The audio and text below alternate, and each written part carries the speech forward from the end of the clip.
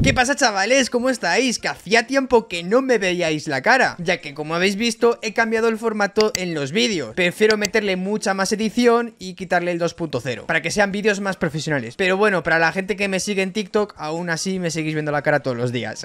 Chicos, os voy a hablar de todo lo nuevo de hoy que hoy es la temporada 2 recargada con nuevo contenido. Y nuevo balance, nuevos cambios y todo del día 15 de marzo, lógicamente, porque es hoy, hoy día 15 de marzo. Entonces nos vamos a saltar todo esto y primero vamos a hablar del balance de armas, porque es lo que más interesa a todo el mundo, saber qué armas han mejorado y qué armas han nerfeado para modificar tus clases y para saber qué arma tienes que usar a partir de ahora. Pero bueno, el top metas te lo traeré mañana, que más o menos ha cambiado, pero no mucho. Entonces, para que lo entendáis mejor, nos vamos a meter aquí en Warzone Loadout, que ya sabéis que es una página muy fiable y que yo me guío mucho por ellos, ya que te comentan las mejores clases, en este caso en actualizaciones te comentan todo lo nuevo, todo lo que estáis viendo aquí en verde serían lo mejorado, vamos a comentar lo mejorado. Han mejorado el subfusil MX9, que si pasamos a las notas de parche de Infinity War, le han aumentado el rango medio. Vamos, que en distancias medianas la MX9 mete más. Han mejorado la BASP, ahora apunta más rápido cuando sprintamos y le han subido el rango de daño. Han mejorado la PDSW, que creo recordar que es la P90. Que aquí lo que yo entiendo y lo que ponen las notas de parche, que le han mejorado la visibilidad de la mira de hierro y que ahora apunta más rápido. Han mejorado también la MP7, la Bell 46, que como veis por aquí, le han aumentado el rango de daño cercano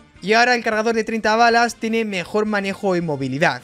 La escopeta Bryson 800 y 890 ha sido también mejorada y que han mejorado el fusil de asalto STB, que lo que han hecho ha sido agregarle un daño mínimo contra armaduras, vamos, que ahora en distancias cortas mete más cuando los enemigos tienen placas. Armas que han nerfeado. Lo más importante de todo es que la escopeta KV Broadside ha sido nerfeada. Eso es lo más importante. También han nerfeado, como estáis viendo, la RPK, han nerfeado la RAL, que no lo entiendo muy bien, pero bueno, porque la RAL tenía un retroceso descabellado y aún así le han aumentado el retroceso.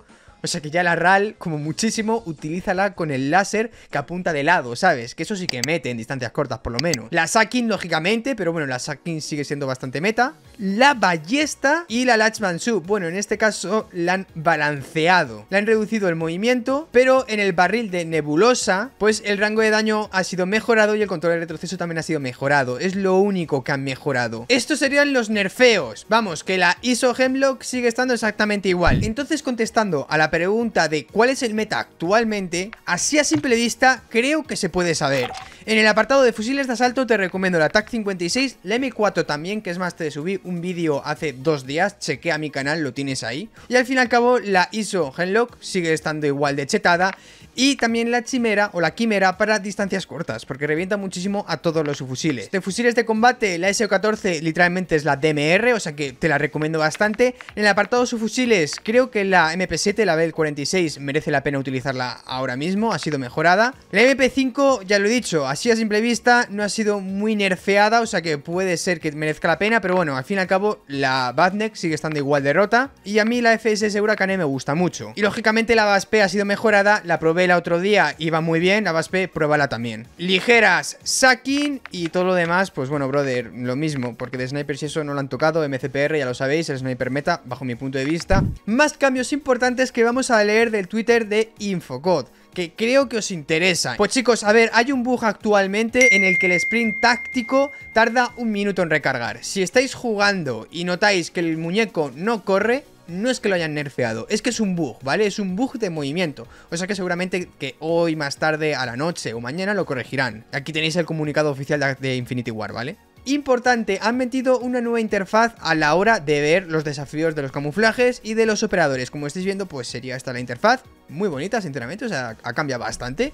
Y oye, pues está bien. También tenemos estadísticas en DMZ para la gente fanática de DMZ. Pues oye, tenéis ya estadísticas del KD, del arma favorita, del arma con más bajas, etcétera. Bueno, tenemos el nuevo operador, es Redder, ya sabéis que lo van a meter el día 21, creo recordar. Y oye, a mí me gusta, sinceramente a mí me gusta mucho. O sea, no sé, cada uno tiene sus gustos. Listas de partidas, obviamente, por fin han metido, diría que todos. O sea, si a simple vista, diría que todos. O sea, que guay, GG's. Tenemos un nuevo paquete de price. Importante, tenemos un nuevo evento, entre comillas, que va a durar un día, que sería el San Patricio, ¿vale? Esta sería la skin del paquete para comprar, lógicamente, estos de pago, chicos. Mirar, es, está guay. Mirar el arma, ¿eh? O sea, está, está guapo. Y el evento sería que el agua se vuelve verde y tenemos un arco iris. Que al final del arco iris va a haber un sniper 100% que va a batir de un disparo. Como estáis leyendo por aquí, que hemos cambiado de Twitter y ahora sería Code Intel S. Páginas de información de Twitter muy, pero que muy fiables. Entonces yo recomiendo seguirles. Importante, a partir de ahora las letales van a hacer más daño. Tanto la granada fragmentadora, la granada clásica de toda la vida, la Claymore y la Sentex van a hacer más daño contra las armaduras. Súper, súper importante cuando nosotros disparamos a un enemigo y le plaqueamos, es decir, le quitamos todas las placas, se elimina el texto de placa rota, placa tal, ¿sabes? Porque daba mucha confusión de, oye, me he hecho ya la kill. No, no, te has hecho la kill has quitado solo las placas al enemigo. Por lo menos, importante eso. Importante, mañana tenemos la prueba gratuita del multijugador hasta el día 20. Y todo esto sería lo nuevo. 6 mapas, 8 modos y el episodio 1 de Raid. ¿Ok? ¿Vale? Para la gente que esté interesada en esto, pues yo te comento la información. Aunque seguramente de otro youtuber o de otro creador de contenido te hayas enterado. O mismamente has visto mi vídeo de TikTok que se ha hecho bastante viral. Ya sí, importante, las cegadoras ahora te cegan menos, o sea, te dejan menos ciego ¿vale? O sea, como estáis viendo, lanzas la cegadora y como que te aturdes un poco y ya está. O sea, muy estilo Black Ops 1 esto en realidad, ¿vale? Porque antes en Sinmen jugabas cargamento y te volvías loco. Bueno, importante, vamos a las notas de patch de Infinity War, así como tal. Bueno, como he comentado, el evento este de San Patricio. Tenemos el nuevo episodio de Raid, que sería el episodio 2, nuevas skins de Price. Tenemos un nuevo rifle de tirador que se llama Tempus Torrent y que supongo yo que se extraerá de DMZ o a través de desafíos o cosas así todo el balance de armas, han mejorado el audio, ahora en teoría los pasos se escuchan mejor, en teoría llevan tres años diciendo eso, pero bueno. Muy importante ahora la notificación de, oye, ataque aéreo en camino tal, eh, se escucha más fuerte o por lo menos se escucha antes, o tiene más rango para que el muñecote, o sea, tu personaje, lo detecte, ¿sabes? Porque antes estabas literalmente a un metro fuera de la zona del ataque aéreo y te reventaba porque no lo escuchabas porque el muñecote, tu personaje, no lo decía. Entonces, pues bueno, eso también lo he mejorado punto muy importante. Y a, partir de ahora, y a partir de ahora las placas se recogerán automáticamente, también muy importante eso. Tenemos todos los modos de juego y estos serían los tamaños que tenemos, leerlo y ya está. Aún así toda esta hoja de ruta te lo dejaré abajo en la descripción. Tenemos un evento que sería el tercer aniversario de Warzone, que bueno, que nos están regalando tarjetas de visita, skins y eso, eh, en la tienda de Warzone 2. Te metes en la tienda, lo recoges y ya está, lo compras, es gratis y ya está. Seguramente te habrás enterado porque subí un vídeo a TikTok, porque lo habrás visto de otro youtuber, bueno. Y corrección y corrección de errores y todo eso, ¿vale chicos? Esto lo leéis vosotros, lo dejo abajo en la descripción, lo vuelvo a repetir para que le echéis un vistazo y ya está. O sea que chicos, espero que os haya gustado, nos vemos en el siguiente. Comparte este vídeo, suscríbete, activa la campana para no perderte ningún vídeo y nos vemos en el siguiente. Adiós.